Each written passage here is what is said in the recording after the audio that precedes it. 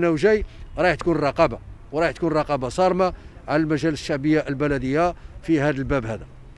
اذا أنا نقول باللي باش رؤساء البلديات السابقين ما مشوش ما مشوش يعني في التوجه نتاعنا. أنا الفترة القصيرة اللي قضيتها معاهم ما مشوش معنا كما يجب. ما كانوش يعني آه متواجدين معنا ما كانوش يطبقوا التعليمات.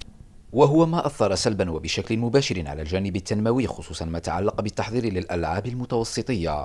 على خلفية سوء التسيير المؤدي إلى الانسداد الذي ميز عديد المجالس البلدية.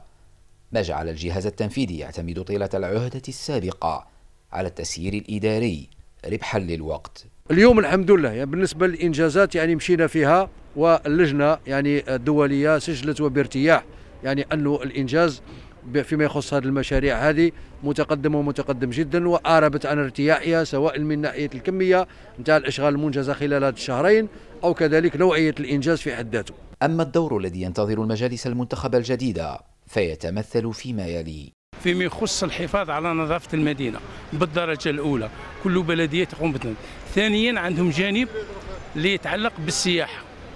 هذا هذه الألعاب البحر المتوسط هي ألعاب بالدرجة الأولى تروج للسياحة لهؤلاء الدول المشاركين في هذه الألعاب المجالس الجاية إن شاء الله ماذا بينا تكمل وتساهم في الشيء اللي اللي اللي اندار من قبل من المجالس الشعبية الأولى اللي كانت انتهت العهده نتاعها وهذا في فائده الوطن. يبقى الآن التعجيل في تنصيب عديد المجالس البلدية على غرار بلدية وهران الأم للاسراع في تدارك ما فات سيما ما تعلق بالجانب التنموي في شقه البيئي والسياحي.